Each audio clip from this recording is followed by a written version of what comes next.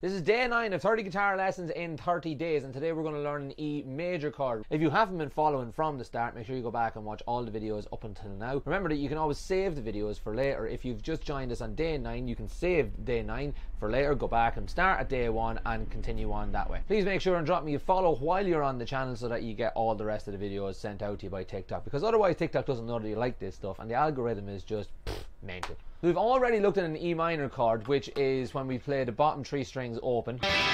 An E major chord is when we're going to put our first finger on the G string, which is the third one from the bottom, and play those same three bottom strings. Hear the difference? So E minor, E major. The difference between major and minor is happy and sad. Ma- uh, major being happy and minor being sad. So we're going to try and strum along with a drum machine for E major. We're going to start off with doing it four times. One,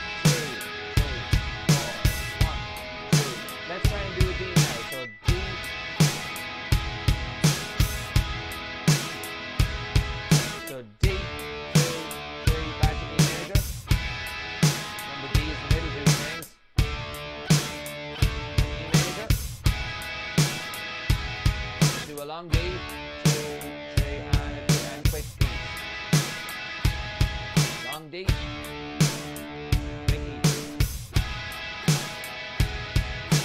As ever, I'm looking forward to seeing what you're going to say about this in the comment section. If you have any questions, make sure that's where you put them and I'll video reply to as many of them as I can. Comment the word guitar in the comment section. I'll reach out to you personally and I will send you an ebook with all of the exercises, cards, challenges that are in this 30 days challenge. And as always, make sure you like the video to tell TikTok that this is what you're into and I will see you all tomorrow for day 10.